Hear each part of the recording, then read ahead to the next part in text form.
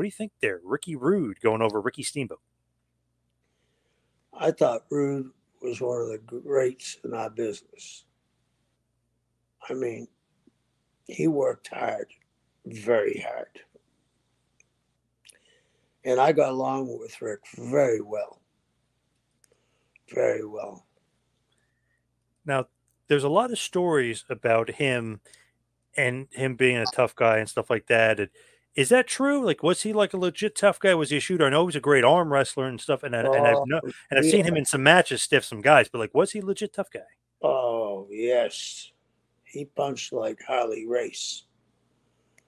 He didn't have to throw two. He was super tough. Out of all that crew in Minneapolis, that were all tough guys, none of them could hold a candle to Rude. And I'm talking Road Warriors, Hennig, uh, Norton, uh, Brady Boone, John Nord. Yeah, John Nord. Mike Enos. Yeah, none of them.